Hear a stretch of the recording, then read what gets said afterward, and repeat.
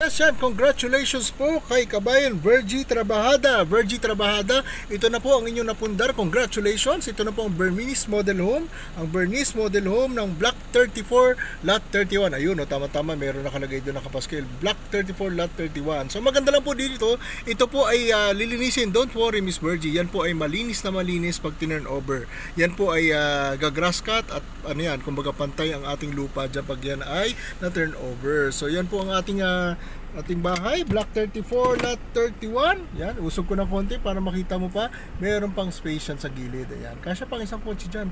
Tsaka pwede ka pa mag-extend. Kaya congratulations. Sulit po ang inyong pagpupundar. Kaya once again, congratulations kay Miss Virgie, trabahada ng Block 34, Lot 31, Meridian Place, Phase 1. Salamat, congrats!